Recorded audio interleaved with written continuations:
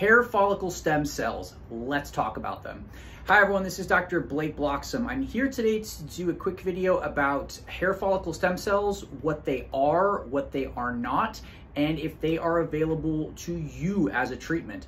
So this is a very detailed discussion uh, that could go on for a very long time, but essentially, uh, hair follicle stem cells come from two regions in the follicle. One is a region up near the, the sort of center of the follicle called the bulge. These are the true hair follicle stem cells. These are what are responsible for creating the hair shaft, for sort of the continued cycling of the hair.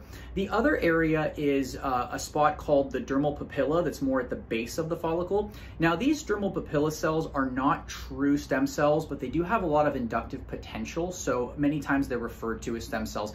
But these two areas uh, have what we call cellular crosstalk. The bulge stem cells communicate with the dermal papilla cells at the bottom, and through their, their complex communication, that's what allows the hair follicle to be the hair follicle. It allows it to, to shrink up at the end of the cycle and stop working for a while. It's what allows it to wake back up and start growing hair. And it's also what allows it to grow hair for years and years on end. So that sounds fascinating. Uh, wouldn't that be cool if there was a treatment where you could take those cells and inject them into the scalp and see if hair grew? Now, does that exist right now? Um, the answer really is no. Now, we are actively working on this. We are actually in the lab working on uh, hair stem cell treatments now, so stay tuned. But as of right now, there are no existing hair stem cell treatments. However, that does not stop people from advertising a, a stem cell treatment for hair.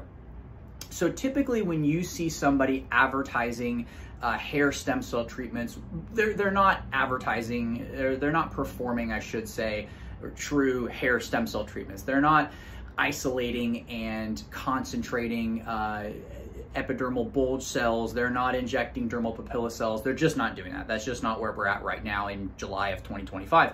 Typically what they're advertising uh, is one of a few things. The most common is, is PRP, platelet-rich plasma. So is PRP a hair stem cell treatment? No, it is not.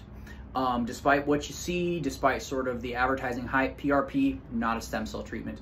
The other thing that you'll see advertised sometimes is uh, stem cells that are derived from adipocytes, derived from fat, and um, basically injected into the scalp. Now, this is closer to a stem cell treatment, but different stem cells very unlikely to do what we need them to do in the scalp. So that's sort of a brief overview of stem cells and stem cell treatments for your hair, which don't exist now, but uh, stay tuned, they might exist in the near future.